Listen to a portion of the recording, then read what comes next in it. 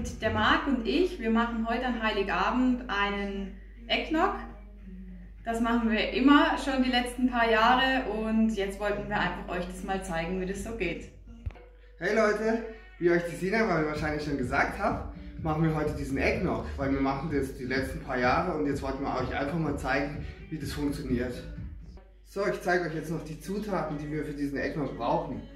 Und zwar haben wir hier Rum, Milch, Vollmilch, ähm, Zucker, ähm, Eiweiß und äh, Eigelb. Und das ist die, der Rum, der nachher reinkommt. Und zudem haben wir noch Gewürze, Ingwer, Zimt und so eine Weihnachtsgewürzmischung äh, und natürlich Vanille und Schlagsahne brauchen wir auch dazu. So, jetzt nehmen wir die sechs Eigelb, machen sie in die Schüssel und dazu 200 Gramm Zucker.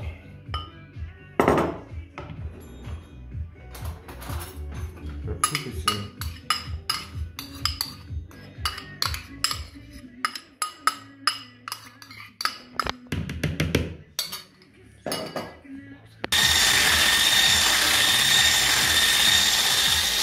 Hallo!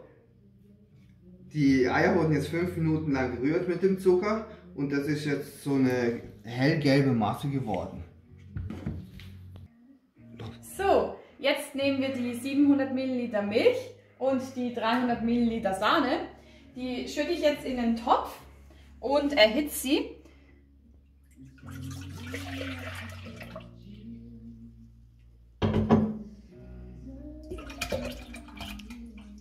Hoppala. so. Da müsst ihr aber aufpassen, dass das die Milch und die Sahne nicht kocht. Deswegen haben wir hier auch noch ein... Ähm also, da haben wir dann ein Therm Thermometer, wo ähm, die Temperatur angezeigt wird, weil es darf nicht kochen. Drei. Hallo, und jetzt in der Zwischenzeit weil was macht man mit den ganzen Eigelben? Dann schlagen wir die einfach zu Eischnee als Dekoration oben auf den Ecknock drauf.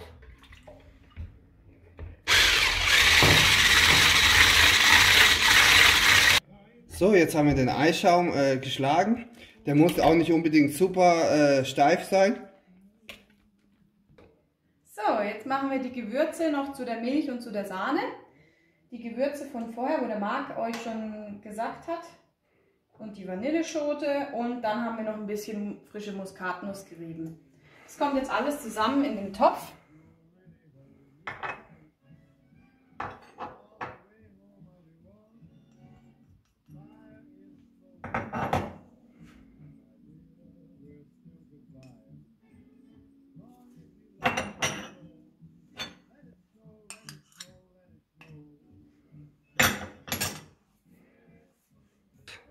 Ihr könnt auch gern noch die Vanilleschote reinwerfen. Und jetzt rühren wir das Ganze. So, jetzt gucken wir mal nach der Temperatur. So 80 Grad bis maximal 90 Grad darf es haben. Das wäre optimal. Und jetzt sind wir schon bei 60.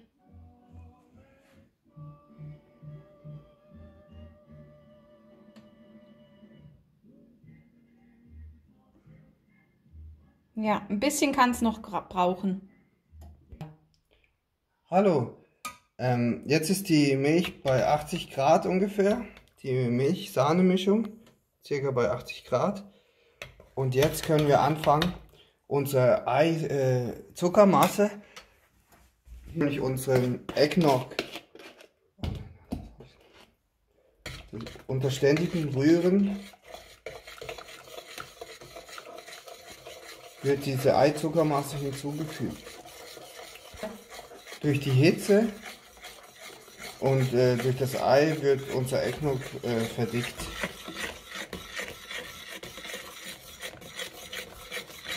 Und das duftet so fein. Also, jetzt ist die Eiermasse eingerührt und um, umso länger ihr das äh, bei 80, 90 Grad ähm, einrührt und äh, heiß werden lässt, umso dicker wird äh, im Endeffekt die Masse. Drei. So, wir haben jetzt das eine Weile gerührt und haben jetzt eine Temperatur von 85 Grad. Und wir sind ziemlich zufrieden mit der äh, Konsistenz von dem Eggnog. Und jetzt kommt unser Alkohol dazu.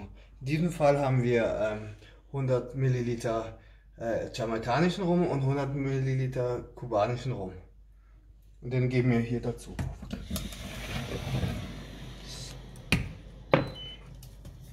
Und dann nimmt man den Topf direkt vom Herd runter, dass es nicht mehr kochen kann.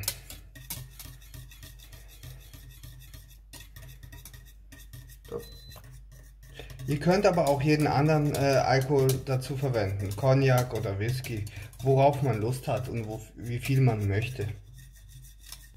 So, und hier seht ihr unseren ähm, fertigen Eggnog.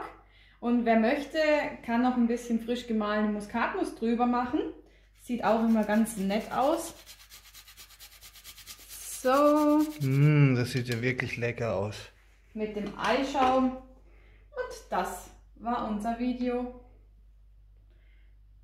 Ich wünsche euch noch schöne Weihnachten und bleibt gesund. Bis zum nächsten Mal. Tschüss.